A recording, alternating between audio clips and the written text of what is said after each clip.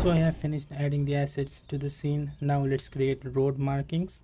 For that I will be using the parking space family which you can find in the site families folder.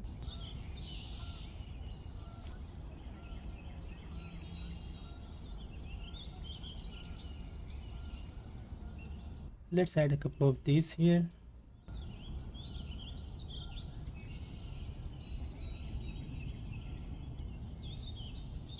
to remove the parking layout lines. We will edit the family select the layout lines and add a visibility parameter to these lines so that we can hide them in our project when we use them to create road markings.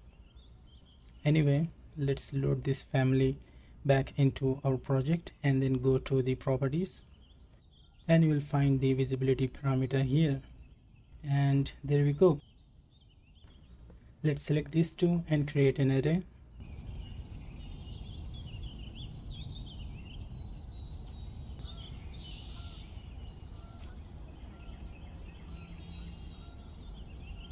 Then we can just select all of these lines and mirror them on the other side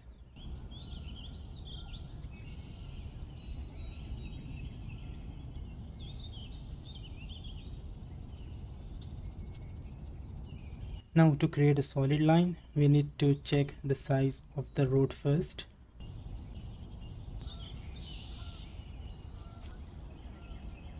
Then just duplicate this parking space family and put the same size in here. There we go. We've got this huge solid line that we can place here.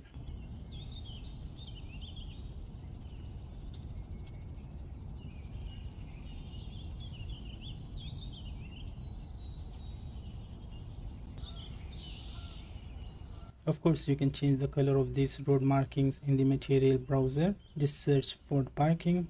And here we have this parking material.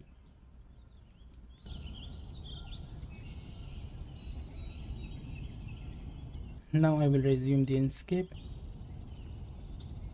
and I think we are ready for the Enscape render settings